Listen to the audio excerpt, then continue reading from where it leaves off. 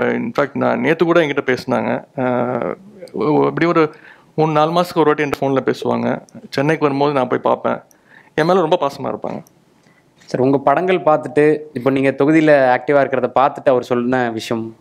அஹ், அதை பற்றி எதுவும் பேசல. அப்பாவோட ஹெல்த் எப்படி இருக்குன்னு நேற்று எனக்கு ஃபோன் பண்ணி அப்பாவுக்கு லைட்டாக பேக் பெயின் இருக்கு ஒரு டூ த்ரீ டேஸாக அது அதை பற்றி விசாரிச்சுட்டு வேற ஒரு மேட்ரு பற்றி பேசினாங்க. என்னோட படங்கள் பார்த்தாங்களான்னு தெரியல. நான் கேட்டு கேட்கல இது வரைக்கும் நான் மாதிரி யாரையும் டார்ச்சர் இல்ல.